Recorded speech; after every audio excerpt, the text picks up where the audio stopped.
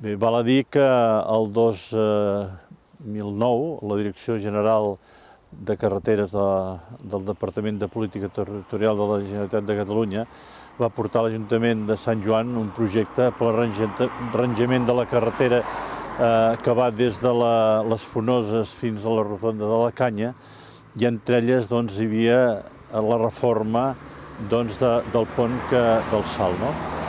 Per motius eh, obvis que, que tots sabem de la situació econòmica que viu el país, doncs eh, això un estava a punt, aquest projecte de licitar, i es va posposar degut a aquesta situació econòmica que viu el país. No? Però nosaltres, eh, evidentment, va estar uns anys que, que doncs, vam, vam estar a l'espera a veure, a veure quina, era, quina seria o iria seguint la realitat del país, però en vistes aquest 2015, eh, que la situació doncs, continuava de la mateixa manera, ens vam adreçar diferents vegades a la Direcció General per demanar la necessitat que hi havia com a mínim de tot el projecte solucionar el tema del pont del Sal. Una problemàtica que no solament és pel trànsit de vehicles, sinó que, a més a més, pel trànsit de vianants, no? donat que és una de les úniques eh, vies de comunicació que hi ha entre eh, dos sectors del municipi, a més a més de ser una, una carretera eh, comarcal, no?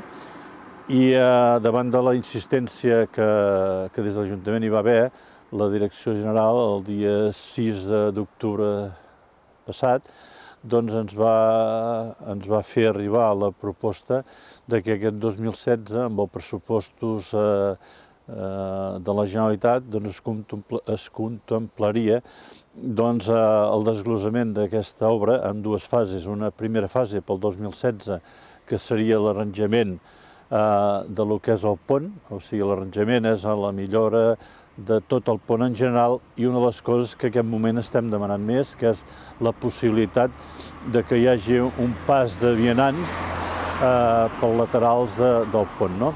I això és el que en principi se'ns ha comunicat, que aquest 2016 estaria, estaria dintre els pressupostos de la Generalitat eh, doncs aquesta obra i de cara al 2007 llavors seria doncs, eh, mirar de poder fer el 100% de l'obra, o sigui, l'arranjament de tot el ferm des de les Fonoses fins a la Canya. No? I ja dic, a davant de, la vostra demanda de que us donem informació, doncs aquesta és la informació que hi ha.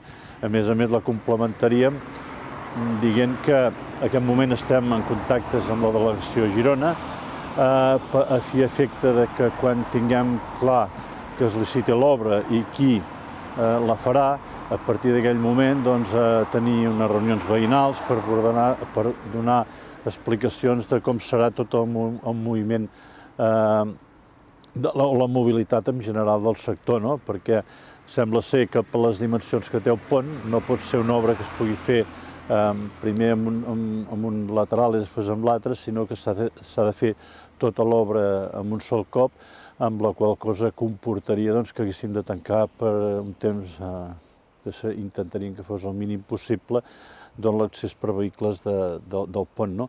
amb la qual cosa, una de les coses que preocupa en aquest moment l'Ajuntament de Sant Joan és tot el tema referent al transport públic, no?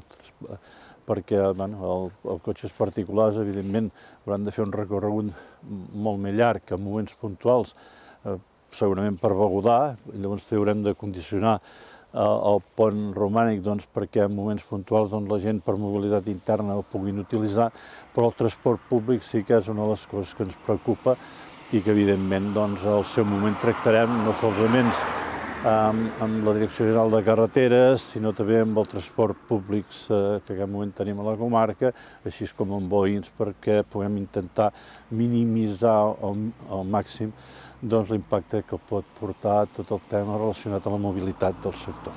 Uh, L'obra aquesta, uh, el valor que té és d'un milió d'euros, eh? més menys, eh? vull dir que per exemple, com que era una, una obra que valia sobre els dos milions d'euros, no? Doncs uh, el que és estrictament el pont doncs, uh, el volta al voltant d'un milió d'euros. No? Això ja dic que anava als pressupostos eh, de la Generalitat de Catalunya d'aquest 2016. No?